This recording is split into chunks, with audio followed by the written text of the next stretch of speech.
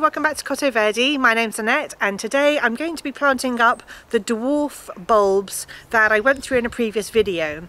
So these bulbs are of um, loads of different varieties of tulips and daffodils and muscari, iris, crocus and other odds and ends but they're all the bulbs that grow to 30 centimetres or less although I think I do have two varieties of tulip that grow to 40 centimetres.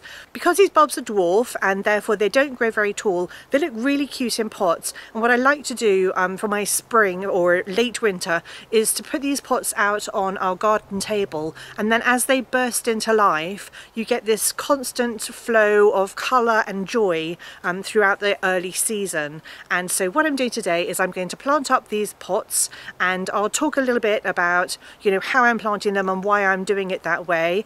And I'll just show you how I'm going to plant them. And this is a really fun project to do on quite a mild autumn day. I mean, we are coming into winter now. So it's November. If you're not watching this this year, um, this is November and it's been quite mild so far. So I've been waiting for the temperatures to cool down because you don't want to put your tulips in too early in case they get something called, I think it's called tulip fire. So we have to wait for the season to cool down a little bit, but actually with the pots, these are going to be absolutely fine. And I'm going to plant everything in the pots today. So the compost that I'm using today is the Melcourt Sylvagrow peat-free compost that I always use. So is not an ad, but I really like the compost and I've mixed it with some horticultural grit. And horticultural grit is just really fine grit. You could use sand or perlite definitely but what you want to do is create drainage or compost that will drain really well because bulbs do not like to sit in water. And if you're in a rainy country like ours in here in the UK it does rain a lot in the winter and then you definitely need to make sure your pots can drain. So along with the grit that I'm adding to the compost so that I create compost with really good drainage, um, what I also make sure is that the pots can actually drain themselves. So even though pots come with drainage, generally they come with a hole in the bottom. If they don't, I drill a hole in the bottom just to make sure that the water can escape. Um, but with this pot here, the hole on the bottom is flush with the surface. So if I was to place that on a patio slab, then it would actually block the water from draining. So I always make sure that I don't place them straight on a patio slab and whilst I'm waiting for my bulbs to bloom, I put them on a wooden pallet um, up against a sunny wall here in the back garden. And if where I was going to put this was slabs and not gravel, then I would make sure that the pot is raised up on, you know, some crocks or some pot feet, which um, I have a few of those, but I always like to make sure that, you know, the water can actually escape from the bottom of the pot. It's no good just having good drainage in the compost. Um, you, you need to make sure that the water can escape if your bulbs don't drain very well and they're sitting in wet soil, they will rot. They won't flower and you'll be really disappointed.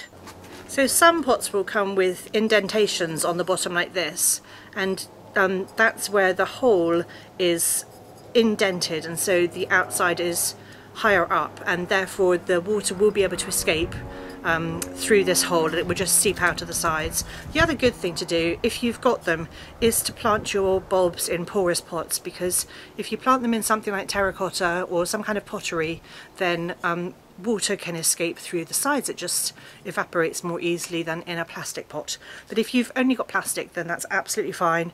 Don't worry about it. And in fact, plastic pots, generally speaking, are designed with holes all around the base so that water can escape really easily. The other thing I always use when I'm planting bulbs into pots, um, along with a good compost, which has got lots of nutrients, I use a bulb starter and any bulb starter will do. Um, and I just sprinkle the granules on the surface um, before I put the bulbs in and that way you're giving some extra nutrition to the bulbs and it will just get them going faster and give them extra nutrients. So the other thing I wanted to mention about the compost is that you can definitely use garden compost if you've made your own, um, that's absolutely fine. The only thing that you might struggle with there is that your compost, if it hasn't got hot enough, will have weed seeds in it still that will germinate as the weather warms in the spring and so you'll have to go and pull those weeds out and just keep a general eye on them. Um, so it's easier sometimes just to use the shop bought compost because it's been sterilised and so for these very small, the dwarf bulbs that go in the smaller pots, because there isn't much depth to them, I just fill those pots with this um, store-bought compost. Um, when I plant the bigger bulbs in the deeper pots later on, I will put garden compost in the bottom and then top it up with the store-bought compost because that will then, you know, blanket out any weed seeds that might germinate because they'll just be too deep. So I always find there is a question about whether or not to put crocks in the bottom of your pots and the problem with putting crocks in the bottom of your pots is that you can block the drainage hole. If you've only got one drainage hole like I have here um, and you, you put a crock down the likelihood is that water is not going to get through the crock um, and so then you are going to create a pool at the bottom and your bulbs won't like that. So what I like to do is put two crocks and I kind of place them quite carefully. So I put one crock there and then I balance one on top so that water can still get down below. And the reason I put crocks in is so that I make sure that the soil doesn't actually block the hole because it can kind of get compacted over time as it rains. So by doing this you're preventing the soil falling through the hole but you're also allowing the water to go through. So that's the only reason I put crocks at the bottom um, to help with that problem because you want the hole at the bottom for drainage but you don't want to block it. So what I'm planting in this pot because it's a very deep pot, or one of my deeper pots, is I'm planting the tulips because the tulips actually have to go the deepest out of all the bulbs that I'm planting today. And this is the Princess Irene Parrot, which I'm very excited about. And this is how one of the bulbs looks. And this is the pointy end, so you put pointy end upwards, and this is where the root comes out, the sort of flatter end. That's probably not a good example. Let me grab another one where they're all a bit the same shape actually. But you know pointy end upwards basically. Um, and so what I'm going to do is I'm going to fill um, my pot with some compost which I've already mixed with the grit. Not fill it but I'm going to gently place it there so that I don't dislodge any of the crocks that I've just put in. And what you want with the tulip bulbs is to plant them um, at least three times their depth. So uh, you know, if you're not sure, you can just kind of stack one and then stack another and then stack another and that's about three times the depth. I'm going to put a tiny bit more compost in because the soil will settle as I water it. And then what I do is I sprinkle some bulb starter. And as I said you can use any bulb starter you like and I just like to sprinkle some like that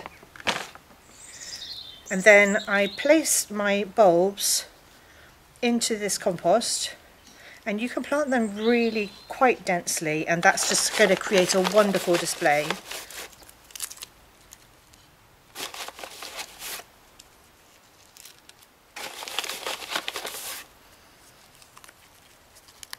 So not quite touching but almost.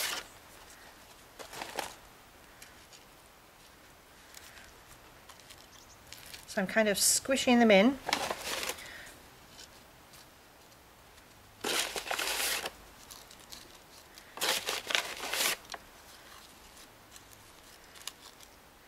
And that's how closely I would plant these. And then I'm just going to top up with compost.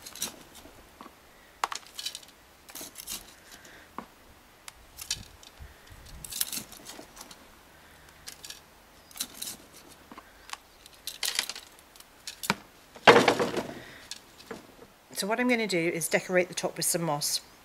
Um, I could also sprinkle some grit on the top to just make it look uh, slightly prettier. And there's nothing wrong with compost, but I prefer to put something on top. So what I use is um, dried sphagnum moss, which I rehydrate and then scatter over the top like this.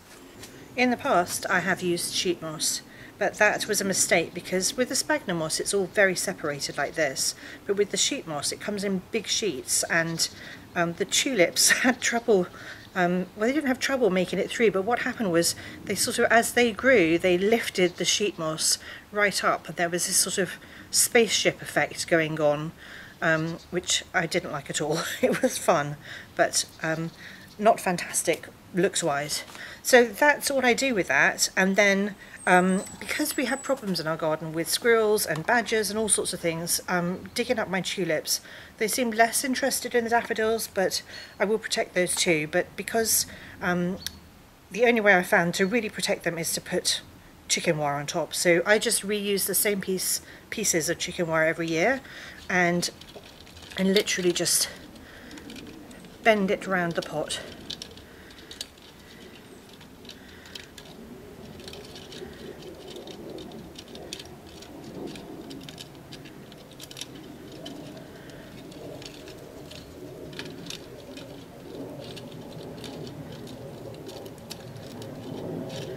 I find that that acts as a deterrent for the larger bulbs. Um, they just ignore them. I mean if they're really determined they're going to try and lift it off. And of course, if you don't have problems with critters trying to eat your bulbs, then you're very lucky and you don't have to use the wire at all. And if you don't have any moss or you're happy not to worry about how the surface looks, because once the bulbs come through, they look fantastic. But if you're not concerned about how that looks, um, you can just leave your compost bare. You absolutely don't have to use moss. This is just how I like to do it. And then what I'm going to do now is water it in, water my bulbs in, and then I'm going to set them aside on a pallet to do their thing.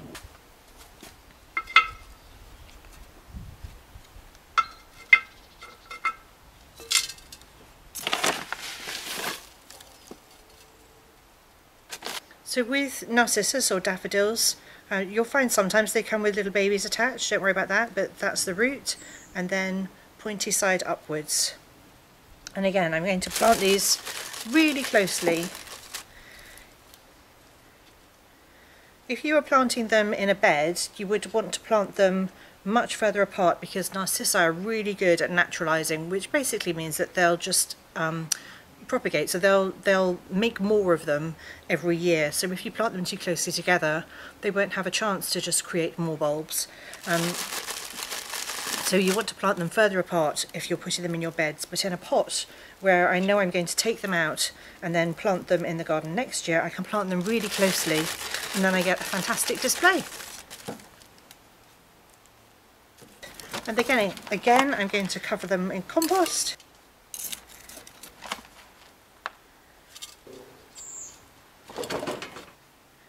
and then a bit of sphagnum moss. And my label. And then some more wire.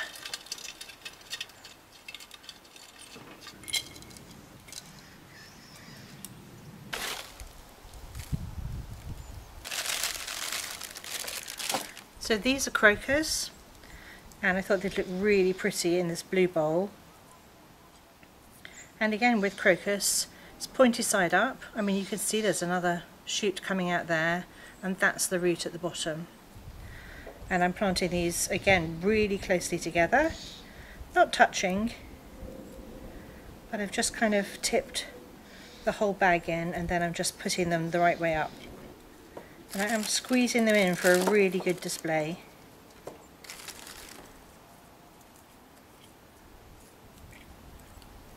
Again with the crocus I plant them um, you know three times their depth and then I don't worry so much about protecting these from critters because they don't seem that interested in crocus but I will decorate the top of my pot with some moss. I mean if you had loads of fir cones um, that's something else that's really nice to put on top of pots is just some fir cones and then don't forget to label them which I've just forgotten to do. The reason that I like to label my pots is because I will plant these out again into the garden next year. Um, I won't leave any of them in the pots because I reuse the pots come the summer but um, these will all go into my garden beds and if I haven't labelled them then once they've died down and the bulbs have absorbed all the nutrients from the leaves I'll have absolutely no idea what they are and I won't know where to put them or what colour they were. So that's why I label my pots and it's also the other reason why I don't do bulb lasagnas and I don't mix them. Um, it's also in the really shallow pots quite hard to do a bulb lasagna anyway and I think that these little dwarf bulbs look really cute just on their own making a statement in individual pots. So this is Iris Harmony. So these are Scilla or Scilla and they're bigger bulbs so I'm going to push them down. I think it's a big mistake not to plant them deep enough so even though they're in um, shallow pots try to make sure that you get them deep enough.